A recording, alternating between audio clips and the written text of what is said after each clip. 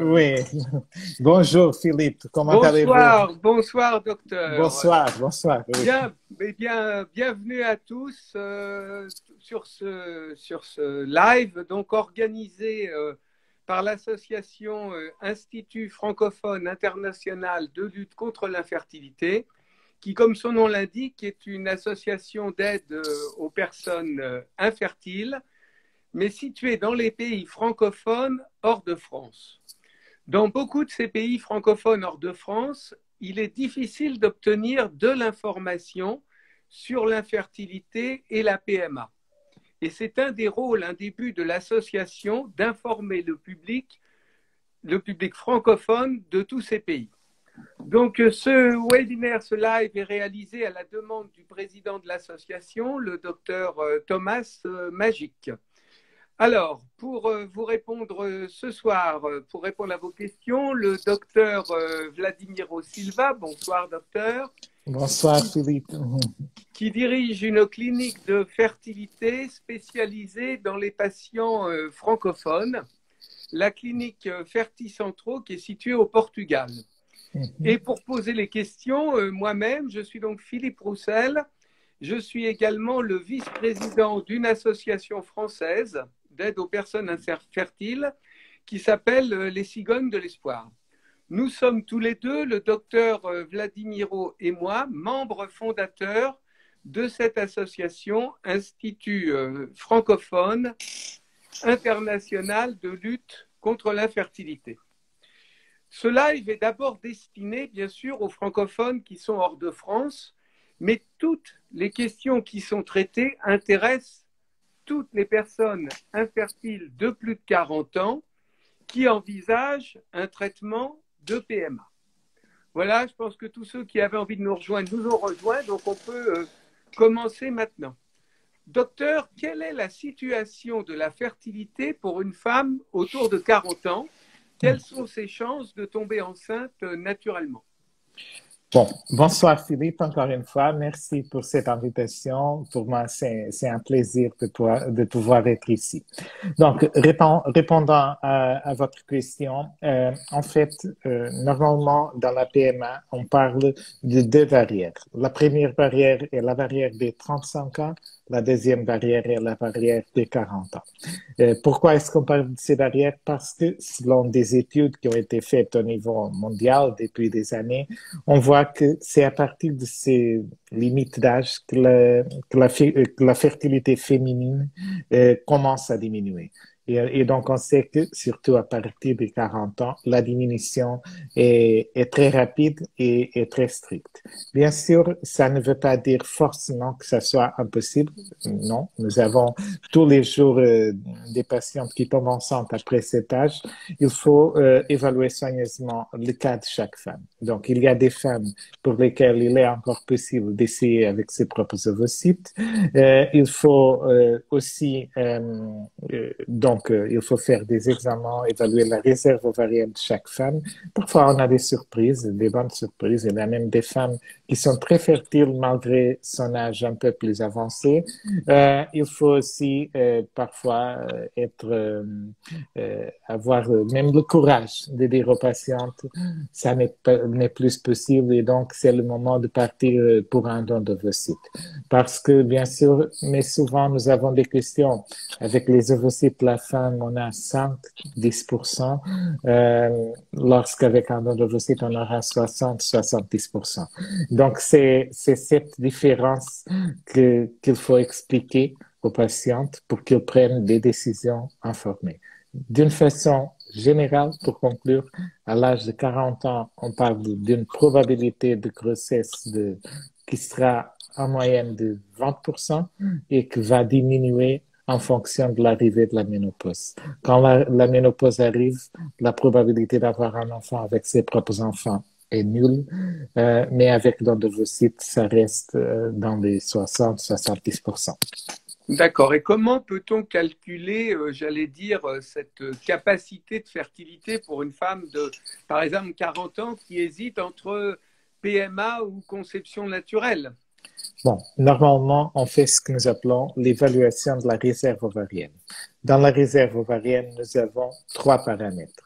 l'FSH, qui est une hormone, euh, l'AMH, euh, une autre hormone, et euh, le comptage de follicules antro, que, que c'est, c'est la mesure du nombre de follicules qui sont dans les ovaires. On le fait par échographie.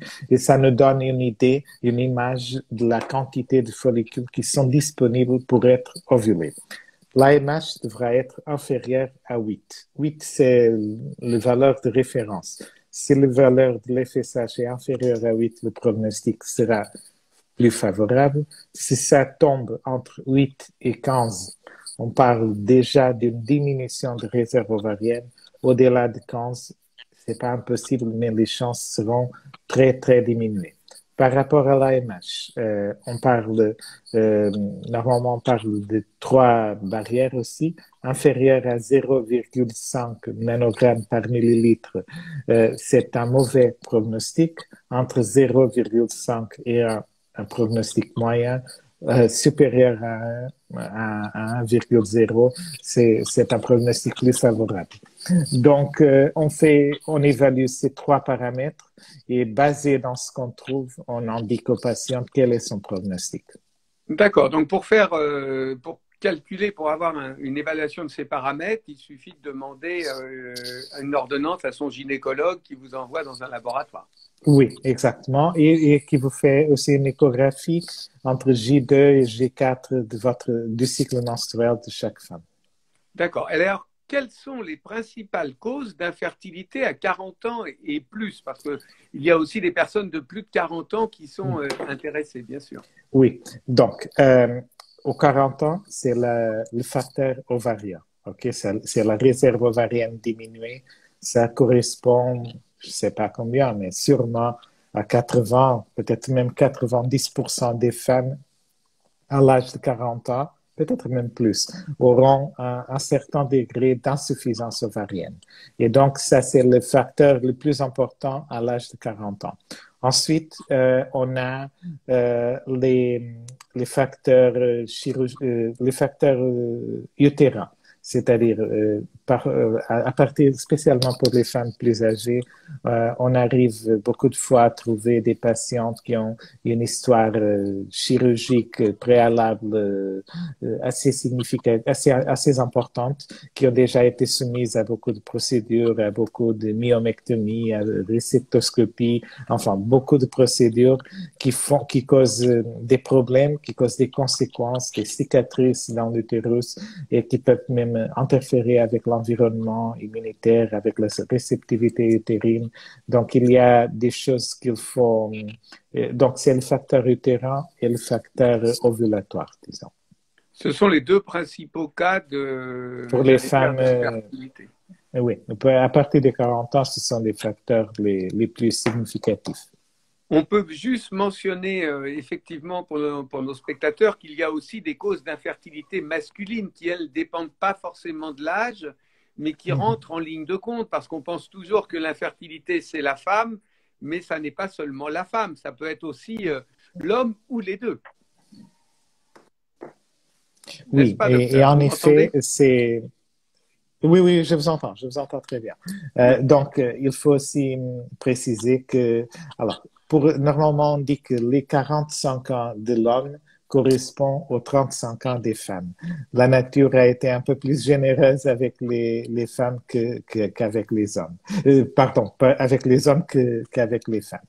Donc, euh, mais bien sûr, la fertilité masculine va diminuer d'une façon lente. Euh, c'est-à-dire, c'est, voilà, Mick Jagger. Il a été le parent d'un petit enfant il y a deux ans. Donc, euh, oh, tout le monde connaît des cas de personnes âgées 80 ans, 80 ans, 60 ans. Oui, exactement, qui ont des enfants dans un âge très avancé. On n'écoute pas parler des femmes qui ont accouché à l'âge de 80. Okay? Donc, euh, c'est différent pour l'homme parce que il y a l'homme peut rester fertile pendant plusieurs années lorsque la femme a, bon, le limite légal c'est les, 50 ans, mais le limite biologique sera quelque chose très proche de, de cet âge aussi. Alors, partons de l'hypothèse d'une femme, 40 ans et plus, qui a, donc des problèmes à concevoir naturellement et mhm. qui envisage un traitement de PMA. Quel type de traitement peut-on proposer à cette femme de 40 ans? Quels sont leurs taux de réussite? Si je ne me trompe pas, il y a classiquement trois types de traitements proposés, l'insémination, la fécondation in vitro et le don d'ovocytes. Que, quels sont pour chacun euh, les avantages, les inconvénients, les taux de réussite hmm. et lesquels doit, dans quel ordre doit-on pratiquer? Peut-être qu'il faut en pratiquer euh, les uns à la suite des autres. OK. Donc, euh, première possibilité, l'insémination. Euh, à Ferticentro, chez Ferticentro, nous ne sommes pas d'accord avec l'insémination pour les femmes à partir de l'âge de 40 ans. Les chances statistiquement seront sûrement inférieur à 5%, euh, très probablement inférieur à 2%. Donc, c'est presque rien. Et, donc, par cette raison, c'est une perte de temps. C'est faire un traitement qui a quand même un certain coût euh, et qui a des chances très faibles euh, de réussite. Et donc, par cette raison, euh, nous ne sommes pas favorables. Parfois, les femmes par des raisons économiques euh, et elles nous disent bon c'est c'est ça ou ne pas essayer. Et dans ce cas euh, on, on essaie on peut essayer quand même dès que la femme prend une décision informée. Euh, ou euh, parfois il y a des patientes qui nous disent bon mais pour moi euh, je souhaite une technique qui me soit qui soit le moins invasive possible surtout pour les femmes mm. célibataires qui n'ont jamais essayé à tomber enceinte. Mais il faut que les patientes soient bien informé des vraies chances de réussite d'une insémination à partir de l'âge de 40 ans.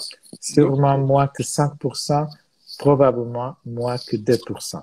Malgré une stimulation ovarienne, on est d'accord Oui, dans les conditions idéales. ok? Après une stimulation ovarienne et, et, après confirmer que les trompes sont perméables, que, que, nous avons toutes les conditions pour avancer.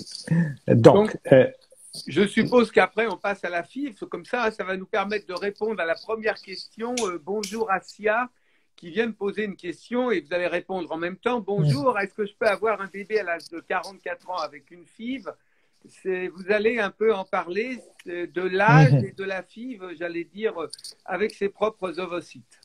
Bon, euh, il faut évaluer le cas. Il faut évaluer la réserve ovarienne de la femme, dans ce cas de Madame Assia. Et, donc, euh, après évaluer la réserve ovarienne, c'est un peu ce que j'ai dit. Si on a un AMH supérieur à 0,5 euh, et un FSH inférieur à 8 ou bon, inférieur à 12, 13, on peut, on peut essayer, on fera une stimulation forte. Ensuite, il faut aussi penser au risque génétique augmenté. Et dans ce cas, il faut faire, euh, nous conseillons euh, pour toutes les femmes à partir de l'âge de 39 ans, euh, le diagnostic préimplantatoire pour la recherche des anéuploïdies, c'est-à-dire pour euh, le dépistage des anéuploïdies. Donc, on sait que à partir de l'âge de 35 ans, mais surtout euh, à partir des 39-40 ans, la probabilité d'avoir une trisomie, une altération chromosomique numérique augmente assez significativement. Et, donc, et comme ça, nous conseillons les femmes à faire le DPI avant le transfert embryonnaire. Comme ça, on pourra voir si, si les embryons sont génétiquement viables ou pas. Et dans ce cas, nous ne transférons que les embryons viables. Bien sûr, on peut faire une FIV pour, euh, il y a deux, manières de faire la FIV, donc on peut faire une stimulation. Donc, il y a trois manières de faire la FIV pour organiser les idées.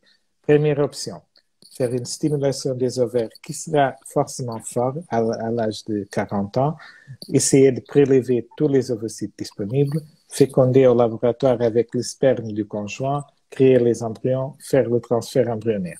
Deuxième possibilité, faire exactement la même chose, mais faire la culture embryonnaire jusqu'à J5 ou même J6, euh, c'est-à-dire jusqu'au stade blastocyste, faire une biopsie de l'embryon, évaluer génétiquement le contenu de l'embryon, congeler l'embryon, attendre les résultats de la génétique, du test génétique et ensuite faire le transfert embryonnaire. D'ailleurs, je vous arrête à ce sujet, euh, Vladimiro, puisque j'ai eu euh, tout à l'heure une dame de Côte d'Ivoire, mhm. justement, donc francophone, mhm. euh, n'habitant pas en France, qui me disait qu'elle avait eu un transfert de trois embryons à J plus 2, mais je ne croyais que ça ne se pratiquait quasiment plus, un transfert à J plus 2.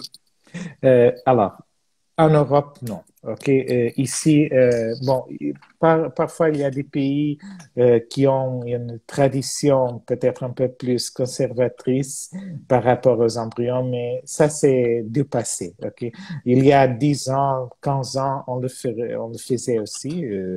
moi personnellement, je l'ai fait il y a 15 ans peut-être. donc, mais actuellement, la tendance c'est faire le transfert d'un seul embryon pas J2, mais un J5 ou peut-être un J6, euh, après tester génétiquement l'embryon pour être sûr qu'il est génétiquement viable et pour en le mettre dans les conditions idéales. OK? Donc, euh, faire le transfert de trois embryons à J2, à mon avis, ça, c'est pas une bonne idée parce que tout d'abord, on ne sait pas quelle est réellement la viabilité de ces embryons. Donc, il faut, bien sûr, il faut avoir des bonnes conditions de culture, euh, de culture embryonnaire, ok? Euh, si, si, si, si ça n'existe pas, peut-être c'est une meilleure idée de le faire, le transfert aussitôt que possible pour ne pas, euh, pour ne pas déranger les embryons. Mais si nous avons l'embryoscope, si c'est-à-dire un incubateur de bonne qualité, si nous avons des milieux de culture de bonne qualité, euh, on peut, on, euh, on doit, l'idéal c'est de faire la culture jusqu'à J5 ou J6. Comme ça, on sera plus sûr si les embryons sont viables ou pas. Et enfin, et, aussi avec euh, la biopsie pour savoir la vraie viabilité des embryons. Le pourcentage euh, d'embryons avec risque, j'allais dire, de naissance euh, anormale est important. Euh, on a des idées de pourcentage pour une FIV classique, j'allais dire, avec ses propres ovocytes au-delà de 40 ans euh, alors, selon la statistique, et bien sûr, euh, c'est toujours un peu euh, discutable de le dire, mais à l'âge de 42 ans, selon j'ai un diapositive que je présente toujours quand je fais des, des conférences. Euh, fois que je reçois un appel, ça coupe. Pardon. Je vois. le problème de l'Instagram, c'est qu'on utilise le, le, portable et donc euh, quand je reçois des appels, ça c'est un peu plus compliqué. Bon, pour euh, vous expliquer, euh, il y a, une étude que je présente toujours, c'est que à l'âge de 42 ans de la femme, le pourcentage d'embryons qui est de bonne qualité génétique est de 7,8 dans un, une étude avec euh, milliers d'embryons qui a été fait, euh, sauf erreur, en Espagne. C'est très peu. C'est très peu, OK? Donc, on sait que si nous arrivons à faire le transfert d'un de ces 7-8% d'embryons, on aura une probabilité d'implantation qui sera de 60-70% Mais bien sûr, la probabilité d'avoir ces embryons, c'est quelque chose de très proche de, de, de 8%, disons. donc, euh, effectivement, euh, très peu. Et, et, les risques de trisomie ou autres importants euh, de naissance d'enfants, j'allais dire, anormaux? Ça augmente assez significativement à partir de l'âge de, de 40 ans. Euh, on sait que a, habituellement, je présente un graphique. C'est un peu comme le coronavirus actuellement. Ça monte d'une façon, c'est un pic énorme à partir des 35 ans, mais surtout à partir des 40 ans, c'est énorme. Ça augmente 20, 30, 50 fois, euh, dépendant de l'âge féminin. D'accord. Donc, pour résumer, euh, donc possible la FIV euh, classique avec ses propres ovocytes après 40 mm. ans, mais avec un maximum de précautions euh, tel le DPI et une très bonne euh, culture embryonnaire. Et avec mm. tout ça, quel est le taux moyen de, de naissance, entre guillemets? Bon, parce que la différence entre la probabilité de grossesse et la probabilité de naissance est le risque de fausse couche. OK? Parce que on sait que, bien sûr, euh, à partir de l'âge de 40 ans, le risque de fausse couche augmente et augmente aussi significativement, mais euh, il faut faire la distinction entre les causes des fausses couches. Donc, si on a, euh, comme je vous ai dit, euh, le taux général, par exemple, à l'âge de 42 ans, ça sera 8% okay? On peut partir de ce, de ce chiffre. Euh, donc, le taux de, de fausses couches, dans les fausses couches qu'on va avoir, on va avoir des embryons qui ne sont pas viables. Okay? Et donc, une partie des 92% d'embryons qui ne s'implantent pas, ce sont, euh, sont des, des, fausses couches, des embryons qui ne sont pas développés par des raisons génétiques associées à l'âge féminin. Euh, une autre partie sera causée par des facteurs obstétriques chez la femme. Et ce type de facteurs sur ce type de facteurs, on n'a pas euh, un grand contrôle. C'est-à-dire, ce sont les mêmes facteurs qui existent. Soit le traitement soit fait avec don d'ovocytes, soit le traitement euh, soit fait avec les ovocytes de la femme. Donc, euh, pour les risques obstétriques, on parle de risques, donc des femmes qui sont à risque, qui sont obèses, qui sont, qui sont en surpoids, qui ont euh, du diabète, qui ont de l'hypertension. Des fibromes, non, puisque c'est quelque chose qui est lié. Euh, j'allais dire, euh, à, un type africain, beaucoup. Donc euh, là aussi, mhm. beaucoup de francophones nous écoutent d'Afrique. Donc il faut peut-être le préciser aussi. Oui, et bien sûr, les fibromes sont une des, une des causes les plus importantes de fausses couches. Et donc, il faut vraiment évaluer soigneusement la cavité utérine avant de commencer une PMA. Donc, parfois, il faut faire des chirurgies, il faut préparer l'utérus, il y a des traitements avec des médicaments qui parfois mm, sont efficaces, parfois non, ça dépend un peu de cas, mais il faut euh, optimiser la cavité utérine pour mettre le plus de chances possible du côté des patientes. Parce que, bien sûr, les fibromes et la population d'origine africaine euh, a un risque augmenté d'avoir des fibromes euh, et sont une cause très importante de fausse couche. Il faut, il faut faire attention à ça. Pour résumer, alors ce taux, c'est 20, c'est 25, c'est 30% de taux euh, moyenne, hein, bien sûr. Non, euh, chez Ferticentre, le taux de fausse couche général à partir de 40 ans est de 8%. Okay? Mm. C'est c'est notre statistique interne, ça correspond, ça inclut toutes les causes. Ça inclut les patientes qui, qui ont des fausses couches avec ses propres ovocytes, et les, les patientes qui ont des fausses couches avec les dents d'ovocytes. Et alors, ça donne quel taux de naissance avec une, une fille avec ses propres ovocytes au-delà de 40 ans? Parce que c'est souvent ce qui intéresse les gens. Euh, c'est 20%, euh, c'est 25%, c'est moins, c'est plus. Euh, avec les ovocytes de la femme, à l'âge de 40 ans, on commence pour parler de 20% et ensuite ça dépend de, la réserve ovarienne.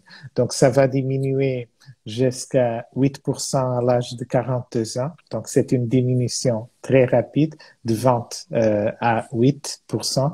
Euh, et, et donc, et à partir des 42 ans, ça, normalement, on dit toujours que ça c'est inférieur à 5%. Euh, Donc, avec ses propres ovocytes. Ça veut dire avec, ses propres ovocytes, on est en dessous de 5%. Je vous dis ça parce que mm. souvent, le risque qu'on entend, c'est ben, c'est pas grave, on va faire beaucoup de FIV. Or, y a-t-il des risques pour une patiente euh, de faire des FIV à répétition? Moi, j'ai eu des gens qui avaient fait 8, 9, 10 FIV les mm. unes après les autres au-delà de 40 ans. Ça a un sens mm-hmm. ou pas? Non, sincèrement non. Moi, personnellement, j'ai connu même des patientes qui sont arrivées presque à 20 FIV avant d'arriver chez nous. Euh, donc, c'est, à, notre avis, ça, normalement, nous conseillons peut-être trois FIV est, euh, est une décision acceptable et sage parce que avec trois FIV, on peut, on a une bonne probabilité. Peut-être la quatrième OK, ça marche. il y a une chose que j'ai oublié de dire auparavant. On a une troisième manière de faire les FIV. C'est faire une, à l'âge de 40 ans. C'est faire une stimulation ovarienne, prélever autant d'ovocytes que possible, congeler ces ovocytes, recommencer une stimulation ovarienne et, et, féconder en même temps les frais et les congelés. Pourquoi? Parce que comme ça, on optimise, on augmente le nombre d'ovocytes disponibles. Et donc, il y a même des femmes qui font deux, trois, peut-être quatre stimulations mm. pour accumuler le maximum possible d'ovocytes. Et ensuite, on fait une FIV. Euh, pourquoi? Euh, parce que, bon, d'un côté économique, c'est moins cher. Le coût de féconder un ovocyte c'est le même coût de, que le féconder 20 ou 30, et ça nous donne la possibilité de faire un choix plus élargi. Et donc, c'est par cette raison que, que, nous avons cette stratégie d'accumulation qui peut être combinée avec euh, du PGT, c'est-à-dire du diagnostic préimplantatoire. Mm. Donc, euh, ce sont des choses possible euh, et que qu'on peut faire, euh, qu'on fait euh, tous les jours, toutes les semaines. Mais ça suppose un système de. Je réfléchis en même temps et que je pense un peu comme les patients.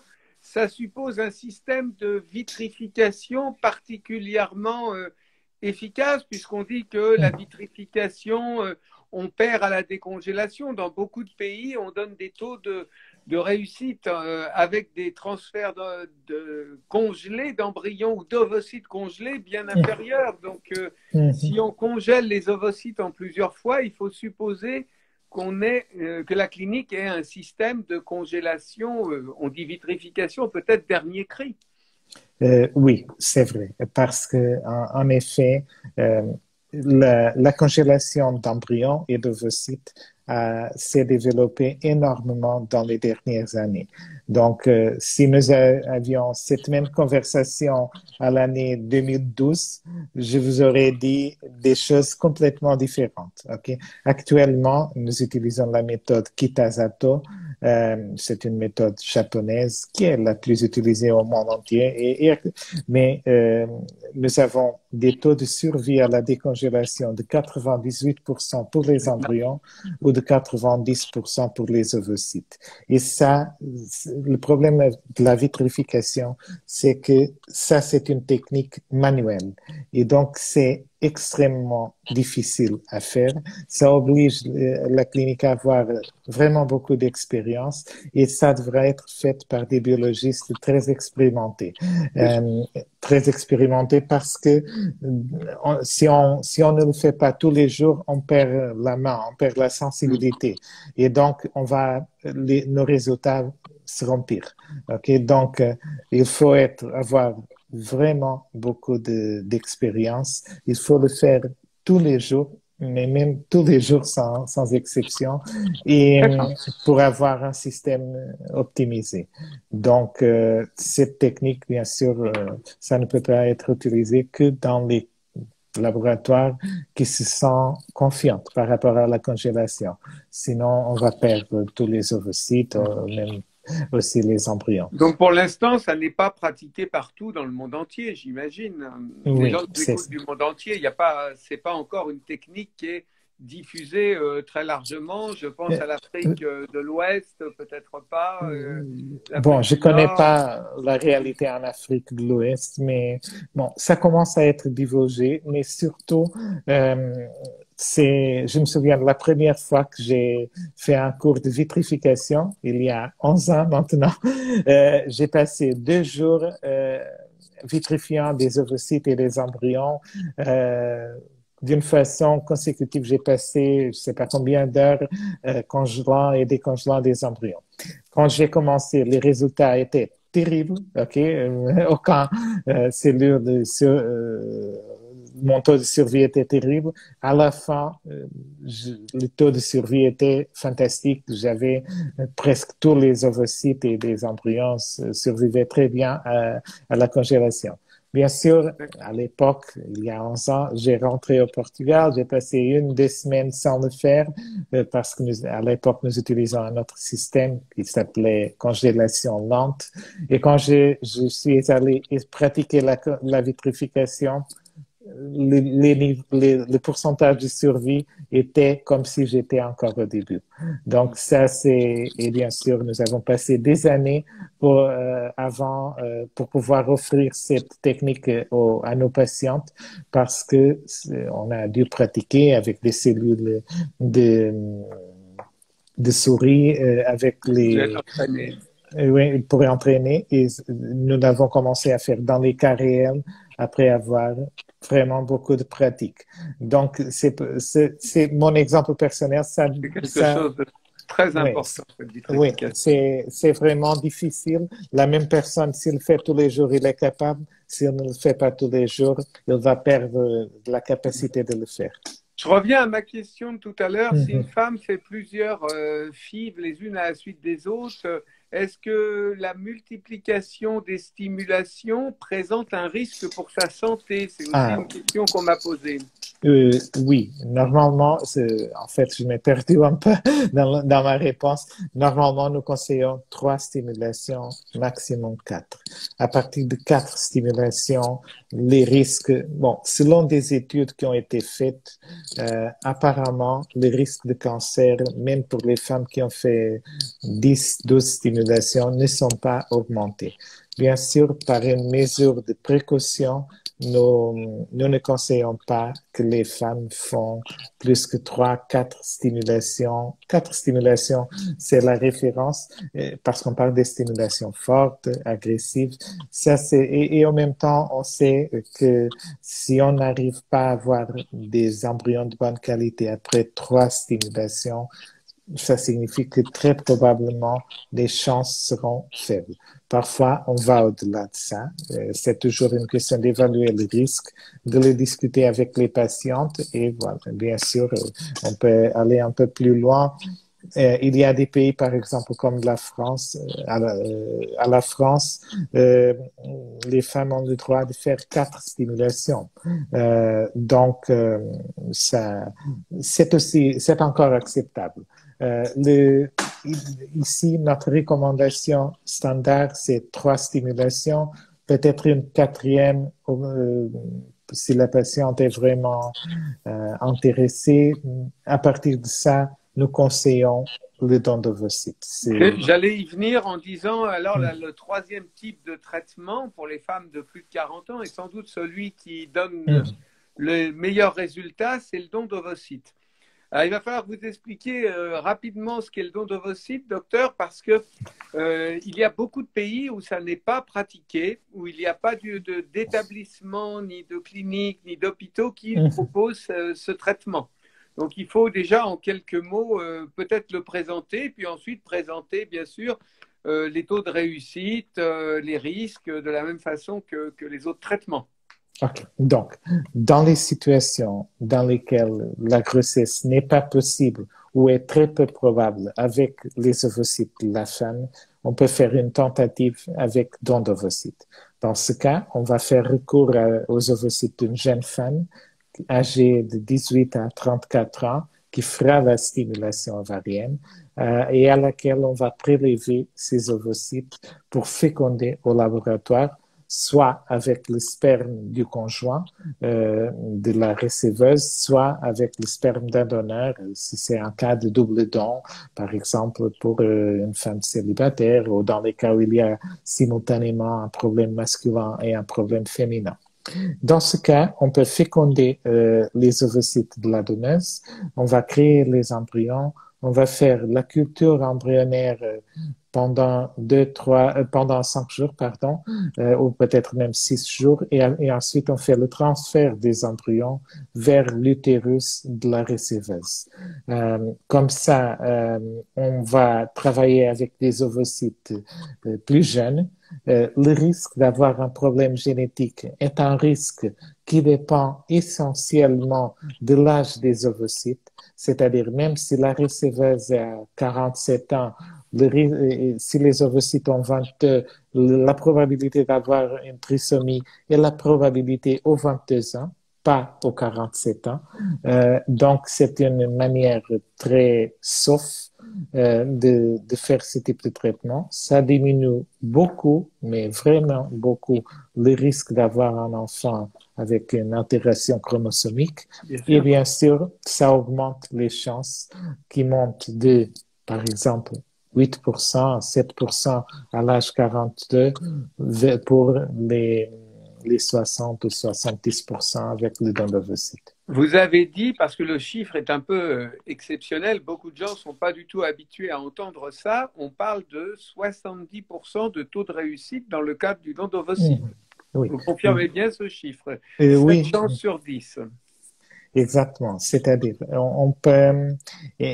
donc, ça multiplie par 10 la probabilité de grossesse, ok, ou peut-être plus. Euh, et donc, c'est par cette raison qu'à partir d'un certain âge, nous parlons toujours du don.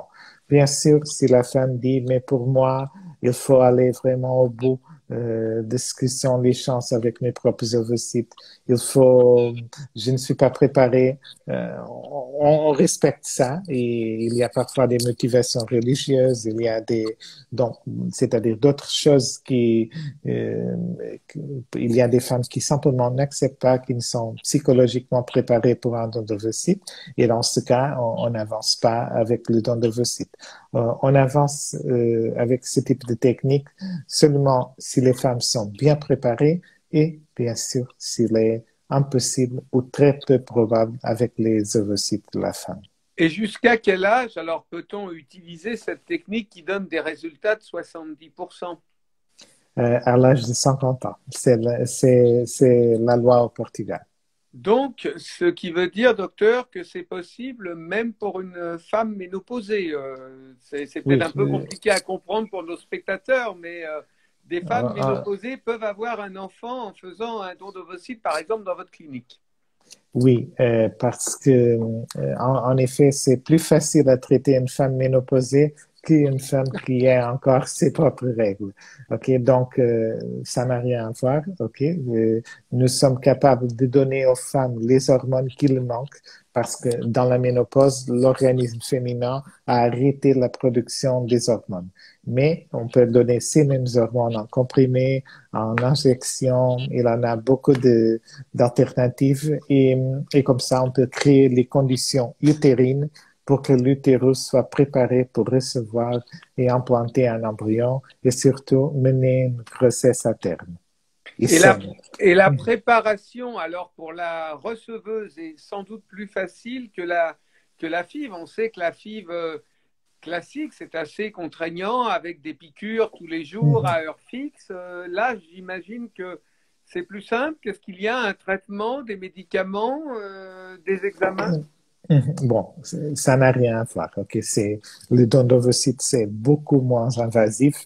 Euh, on fait une préparation de l'utérus. Euh, bien sûr, on donne des estrogènes pour faire grandir l'endomètre. L'endomètre, c'est le tissu qui est à l'intérieur de l'utérus. Donc, on, on, donne des estrogènes pour faire monter l'endomètre jusqu'à un minimum de 8 mm. C'est le minimum idéal pour qu'un embryon se puisse implanter. Les estrogènes sont donnés en comprimés, ok, ce sont des comprimés selon un certain protocole. Euh, on donne parfois une injection ou quelques injections, mais pas plus que cinq, euh, pour bloquer l'interférence des hormones naturelles de la femme. Ça dépend un peu de chaque cas. Si la femme est ménopausée, ce type d'injection n'est pas nécessaire. Si elle est déjà ménopausée, il faut donner euh, ce type d'injection. Euh, si elle n'est pas ménopausée, il faut donner ce type d'injection. Et ensuite, euh, on fait des échographies pour mesurer l'endomètre.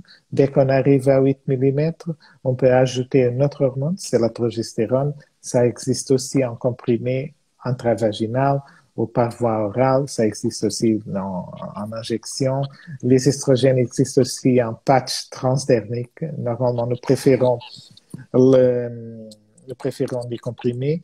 Euh, et donc, euh, tout ça, c'est beaucoup moins invasif, c'est beaucoup plus facile à organiser. Et donc, la femme fait cette préparation. Elle fait une, deux, parfois trois échographies pour vérifier si tout est bien et euh, au bon moment, on le transfert de l'embryon vers euh, l'utérus.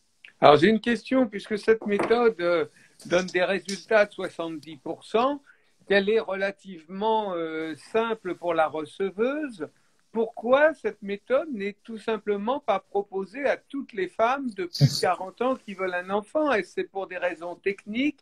Est-ce que tous les centres de PMA dans le monde ne sont pas équipés? Est-ce qu'il y a beaucoup de raisons légales ou des raisons autres de, de donneuses Parce que j'imagine que le problème, c'est bien sûr, si on fait du don, il faut en face euh, des donneuses. On sait par exemple qu'en France, il n'y a presque pas de donneuses. Donc, euh, le don est possible, mais très peu de dons sont possibles. Euh, en fait, sur le point de vue technique, cette technique est très simple. c'est l'une des techniques plus faciles à faire pour une clinique de PMA. C'est beaucoup plus difficile d'avoir un, enfant, un embryon avec une femme plus âgée et utilisant ses propres ovocytes qu'avec le don d'ovocytes. Donc, c'est pas une question technique. Euh, à mon avis, c'est essentiellement euh, une question légale et qui est très liée à la culture de chaque pays. Par exemple, ici au Portugal, nous avons une tradition, euh, une culture très favorable au don. Il y a des campagnes officielles de l'État portugais qui, qui, ont, qui pour, pour la promotion du don. Il y a des associations des patientes qui font la promotion du don. Chaque clinique privée, bien sûr, fait aussi euh, ses propres campagnes pour avoir des donneuses. Et donc, être donneuse ici est une chose qui est très bien vue euh, dans la société. Et, comme ça, on a des donneuses disponibles. Par ailleurs, au Portugal, les enfants qui sont issus d'un don ont le droit d'accès à ses origines, c'est-à-dire ils ont le droit d'accès à l'identité de la donneuse à l'âge de 18 ans. Euh, le problème, par exemple, en France, c'est que la loi n'est pas une bonne loi pour incentiver au don. Euh, et donc, euh, parce que la loi en France est très restrictive et très stricte, euh, vous n'avez pas de, de. Il y a une liste d'attente de 5 ans en France. Dans les autres pays, par exemple comme l'Espagne, il y a le la loi est plus favorable au don. Ils n'ont même pas de limite. Une femme en Espagne peut donner n'importe combien de fois, mais euh, en même temps, ils ont le problème de l'anonymat. En Espagne, les donneuses sont tous anonymes. Et donc, même si par une raison de santé, par quelque raison, euh, l'enfant n'aura théoriquement jamais la possibilité d'accéder, au moins d'une façon légale, à l'identité de la donneuse. Et donc, euh, à mon avis, c'est pas l'idéal non plus. Euh, non plus. Et, ensuite, il y a des pays qui ont autre type de système de santé et autre type de structure. Par exemple, aux États-Unis, vous avez des donneuses, mais vous payez 40 000 dollars par un, traitement de FIV avec don euh, ou 30 000 dollars, ça dépend d'un peu. Euh, au, en, Sud-Amérique, ça c'est aussi relativement cher. Et par curiosité, les lois sont un peu restrictives aussi. Euh, donc, euh, en Afrique, je pense qu'il n'y a pas des pays avec une loi euh, suffisamment libérale pour permettre le don. Dans les pays arabes, par exemple, il y a une culture religieuse qui est un peu contre le don et contre le fait qu'une femme peut donner ses ovocytes.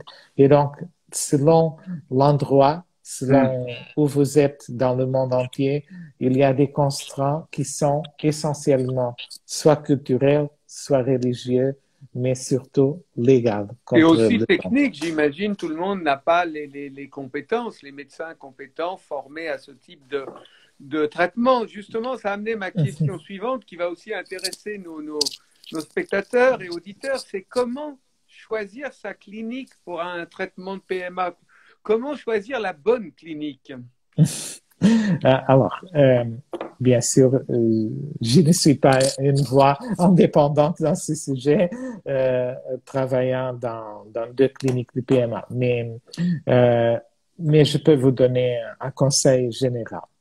Donc, le premier paramètre serait chercher un pays qui est une, qui est une loi favorable. Ok, donc protectrice en même temps. Une loi protectrice des droits de l'enfant, hein, une loi protectrice des droits des donneurs dans le cas où vous cherchez un don, euh, euh, et une loi protectrice des droits des patientes. Ok, et donc ça, je pense que ça c'est, ça serait la, la, le concert numéro un parce que tout le reste vient ensuite. Donc si vous avez un bon cadre légal, vous avez des conditions pour pouvoir euh, travailler bien. OK? Ensuite, il faut chercher une clinique qui ait des technologies disponibles. Ça, c'est un, signe soit de l'investissement de la clinique, euh, parce que, bien sûr, faire un traitement euh, euh, à bon marché, très bon marché, à un prix très réduit et relativement facile, faire un, un, traitement avec les meilleures conditions techniques possibles, c'est un peu plus exigeant. Et donc ça c'est pas c'est juste c'est pas juste euh, avoir des meilleurs outils, mais c'est aussi un signe de que à cette clinique euh, l'équipe médicale, l'équipe technique euh, n'est pas seulement enfoquée dans le euh, c'est-à-dire euh, dans la réalisation des traitements, c'est-à-dire sont concernés avec l'évolution technique et scientifique des soins. Euh, parfois, pour conclure, et ensuite aussi le, le coût, euh, c'est très important. On, a, on sait que, que le coût financier de ce type de traitement est assez important. Euh, donc, il faut chercher une clinique qui ne soit pas trop chère. Et bien sûr, euh, je pense que tout le reste vient ensuite parce que si vous allez en ligne chercher dans l'Internet, il y a des cliniques qui présentent des taux de réussite accumulés. Et donc, si vous savez, euh, je vous donne un exemple classique si vous avez euh, un don de vos sites avec 60% de réussite, OK? Euh, et donc, si vous faites le transfert d'un embryon à, 100 femmes, après ça, vous aurez 60 femmes qui seront enceintes et 40 qui ne sont pas enceintes. Si ensuite vous faites le transfert d'un autre, d'un deuxième embryon aux 40 femmes qui restent, vous aurez 24 qui tombent enceintes et 16 qui ne tombent mm-hmm. pas enceintes. Et si vous transférez un troisième embryon, vous aurez 9 qui tombent enceintes et 7 qui ne tombent pas enceintes. Mm. Et donc, vous aurez une probabilité de grossesse accumulée de 93%. Et c'est comme ça que les chiffres peuvent être euh, manipulés finalement. Complètement. Mais cependant, c'est toujours 60%. OK? Oui, oui, ça reste 60%. Oui, comme quoi la, euh, manipulation des chiffres mm. euh, pour le public peut être dangereuse. Je vois des questions qui s'affichent. On répondra mm. à la fin, docteur. Hein, on va terminer et puis on répondra aux questions. Euh, quelques mots alors sur votre clinique, puisque euh, euh, vous faites partie des cliniques qui sont partenaires et membres aussi fondateurs de cette association d'aide aux patients francophones hors de France. En quoi votre clinique est spécialisée pour les patients francophones? Bon, tout d'abord, nous avons 19 personnes qui parlent couramment le français. Nous avons des médecins francophones qui parlent le français parfaitement. Nous avons une équipe d'infirmières francophones, nous avons une équipe de secrétaires cliniques et coordinatrices francophones. Euh, même au laboratoire, nous avons des personnes qui parlent le français. Donc, euh, ici, nous n'avons pas la barrière de la langue. On a la possibilité de communiquer, même toute la documentation, toute la prise en charge est faite en français. Et donc, et en même temps, nous avons de l'expérience avec euh, des patientes français euh, un peu de toute origine. Soit francophone aussi, pas seulement français. Euh, pardon, francophone, c'est ce que je veux dire. Et, bien sûr, l'Afrique. Et donc, nous, nous sommes déjà en relation avec beaucoup de médecins et d'autres cliniques euh, au monde entier euh, et, et, surtout au monde francophone. Nous sommes très spécialisés. C'est pour ça que vous êtes euh, avec nous, membre fondateur de cette euh, association destinée à, à aider les francophones. Je rappelle au passage que votre clinique est au Portugal pour ceux qui auraient pu euh, prendre ce live en route parce que comme vous parlez bien le français, ils ne peuvent pas forcément savoir dans quel pays vous êtes situé. Mm. Alors, quels sont les traitements euh, pratiqués euh, dans votre clinique tous Oui, on fait tout. la seule chose qu'on ne peut pas faire, c'est la GPA. c'est-à-dire les mères porteuses que, qui ne sont pas autorisées au Portugal. Donc, on fait le don d'ovocytes, la FIV, l'insémination, le DPI, euh, le diagnostic préimplantatoire, les traitements avec don de sperme, avec don d'ovocytes, euh, tous avec des donneurs non anonymes. Donc, euh, voilà. D'accord. Et, la durée, euh, si, si, des personnes viennent d'un pays francophone vers le Portugal pour un traitement, ça reste. combien de temps faut rester sur place. Alors j'imagine qu'entre l'insémination, on se doute qu'il n'y a pas de, pas de temps, hein. ça peut être fait euh, en une journée, mais soit une FIV, soit un don, euh, combien de temps euh, il faut rester sur place? C'est important pour les gens qui viennent de la francophonie. Oui, ça dépend un peu du type d'aide qu'on a dans le pays d'origine. Si on a une bonne collaboration avec un gynécologue local, pour une FIV, une semaine peut être suffisante. La même chose pour un don d'ovocytes. Avec une collaboration excellente, on peut même faire un don d'ovocytes en deux voyages. La première pour congeler le sperme, la deuxième pour le transfert embryonnaire. Et dans ce cas, les patientes ne passent que deux, trois jours sur place à, chaque fois. Donc, ça dépend un peu. Bien sûr, si, on n'a aucune aide des médecins locaux. Il y a des pays où, euh, effectivement, tout simplement, les ressources médicales euh, en matière de PMA de gynécologie ou d'infertilité sont manquantes. C'est pas, euh, mhm. tout simplement, il n'y a pas. Oui, si ça arrive, euh, on peut. Bon, pour euh, bien sûr pour une tentative avec les ovocytes du couple, dans ce cas, normalement, nous conseillons deux à trois semaines sur place. Ok, c'est pour des cas d'un couple jeune où nous partons du zéro. OK. Euh, pour un cas d'un couple qui est déjà euh, étudié, sur lequel on a déjà des informations, on peut faire les choses dans une semaine. Euh, ça dépend un peu de la situation. Mais je dirais que pour un traitement avec les ovocytes, la femme deux semaines minimum si on n'a pas d'aide dans le pays d'origine. Euh, c'est pour un don d'ovocytes euh, un peu moins, mais peut-être dix jours si on n'a aucune aide de, euh, dans le pays d'origine. D'accord. Euh, une question importante parce que je, je vois quelqu'un qui me demande si on connaît, si vous connaissez, parce que c'est vous le médecin, une bonne clinique en Afrique de l'Ouest euh, là, je, ça dépend bien sûr du traitement, hein. euh, mais avez-vous, vous, au Portugal, des donneuses euh, de type africain, des donneuses noires? Parce que, par exemple, imaginons quelqu'un d'Afrique de l'Ouest qui veuille venir en Europe, est-ce que vous avez des donneuses de, de type noir? Bon, tout d'abord, malheureusement, je ne connais pas, je n'ai pas une clinique à vous indiquer, madame, je suis désolé. Euh, mais bon, peut-être qu'on peut, dépendant du pays, on peut faire euh, la recherche et essayer de trouver quelqu'un. Euh, si vous le souhaitez, vous pouvez nous envoyer un message euh, privé et on peut le vérifier.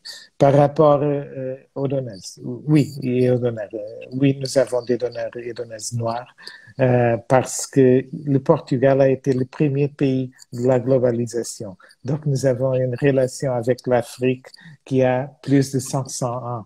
Euh, nous avons nos pays frères qui sont Angola, Mozambique, Cap-Vert, Saint Tomé et Príncipe, Guinée-Bissau, c'est-à-dire nous avons nous parlons le même, la même langue et donc euh, c'est c'est une relation très naturelle. Donc nous avons une énorme population d'origine africaine euh, et qui est très mélangée euh, au Portugal. La majorité de nos donneuses noires sont portugaises et qui y habite, euh, sa famille habite au Portugal depuis toutes les, les générations qu'elle connaît.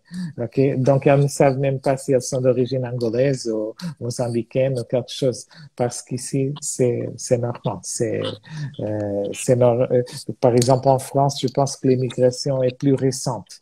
Euh, donc, mm.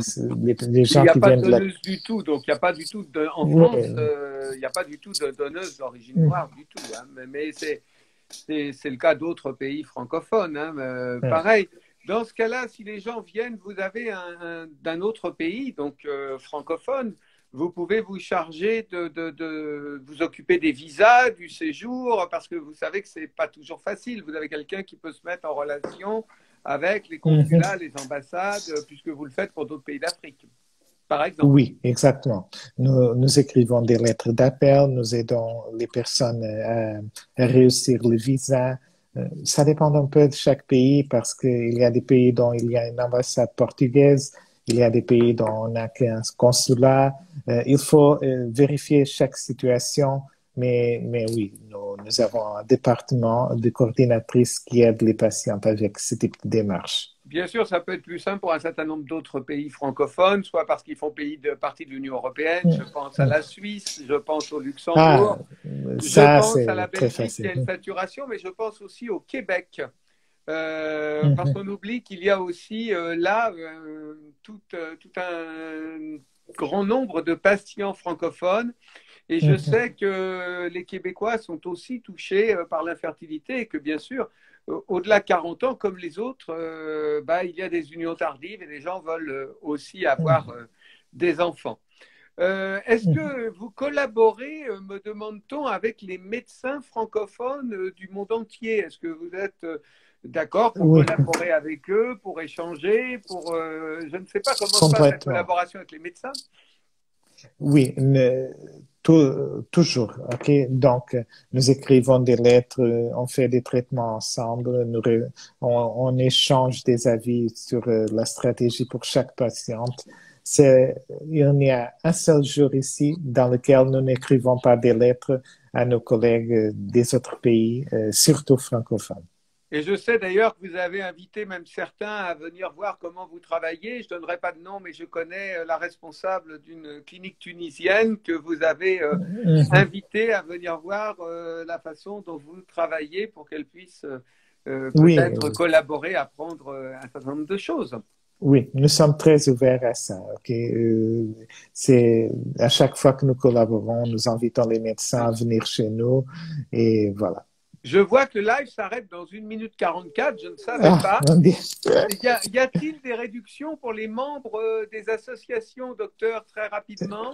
Euh, Oui, euh, je ne vais pas donner les détails, mais nous avons des réductions assez significatives, euh, soit pour les, les, francophones qui habitent en France à travers l'association Les Cigognes de l'Espoir, soit pour les francophones hors de la France à travers l'Institut francophone de l'IFILI.